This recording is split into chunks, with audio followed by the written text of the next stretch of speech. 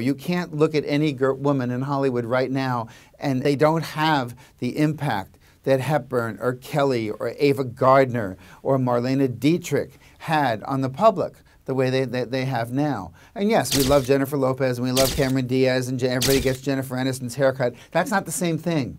That's not the same thing as somebody who plucks an eyebrow to look like Greta Garbo's.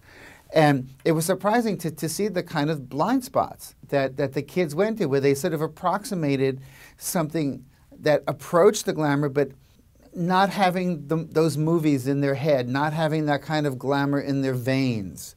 Uh, instead, having just this sort of momentary glamour of stars walking down a red carpet and, and you know, and people screaming paparazzi glamour. It really isn't the same thing. And their sense of red carpet glamour is all kind of jumbled together. Rita Hayworth slides into Sophia Loren, folds over into Marilyn Monroe, that maybe they know who Greta Garbo is.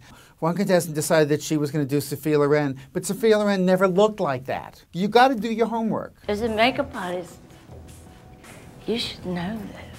In, in, in, any profession, you have to do your homework. You have to come in with points of reference, with a, with a, with a, a set of mental footnotes.